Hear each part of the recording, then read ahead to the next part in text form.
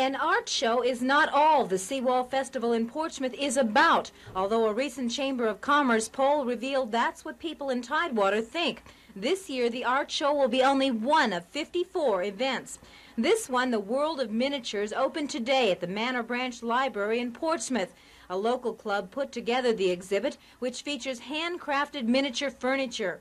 Seawall Festival chairperson Susan Stewart says the event will take visitors to many neighborhoods in the city. Well, I guess when uh, the separate cities in Tidewater do anything, there's an air of competition to it. But I have seen in the, the growth of the festivals a growth of uh, region uh, cooperation now. She says cooperation in festival planning may actually have contributed to a recent decision to merge area chambers of commerce.